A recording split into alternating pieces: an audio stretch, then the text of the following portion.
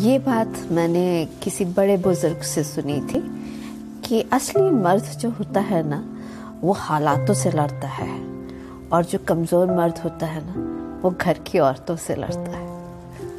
आजकल का रिश्ता तो ऐसा है, जैसे मैं दिसंबर और तू जनवरी। रिश्ता तो बहुत नज़दीकी का है, पर दूरी साल की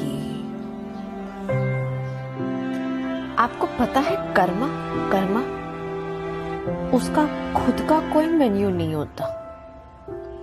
जो आप सर्व करते हो, वही आपको वापस देता है। कभी कभी सोच समेत it is said your eyes and your face is the reflection of your soul and mind